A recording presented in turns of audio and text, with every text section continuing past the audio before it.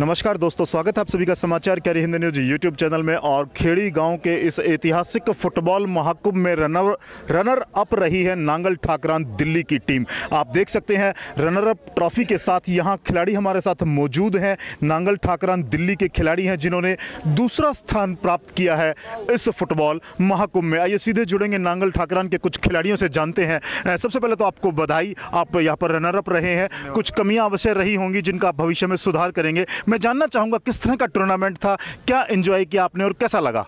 Tournament काफ़ी अच्छा था। मैनेजमेंट बहुत अच्छा था जैसे लोगों ने इन्होंने टूर्नामेंट करवाया काफ़ी अच्छी तरह करवाया। रेफरी ने भी सब फेयर एंड उससे करवाया।